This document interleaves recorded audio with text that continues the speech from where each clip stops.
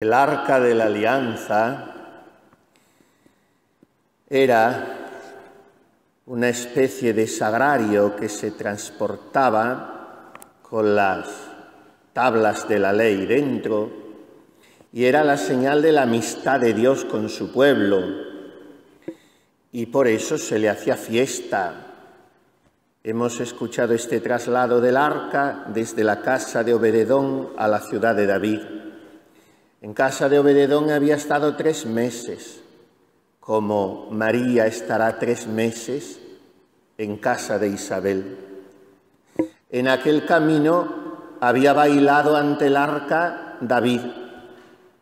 En Aincarén, en casa de Isabel, baila ante el arca Juan Bautista, en el seno de su madre, adivinando al pequeño Jesús en el seno inmaculado de la suya. Y nosotros en el rosario, al final en las letanías, invocamos a María Santísima como Federis Arca, arca de la alianza, del pacto de amor de Dios con los hombres. Y sabemos que María es el lugar de nuestro encuentro con Dios, precisamente porque ella es más madre de Dios por haber cumplido perfectamente su voluntad que por haberle llevado en su seno y haberle dado a luz virginalmente. Y por eso nos gusta llamarla así, arca de la alianza.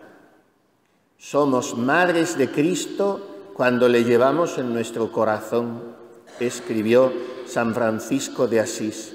Somos madres de Cristo cuando al cumplir su voluntad le damos a luz, le mostramos a los demás.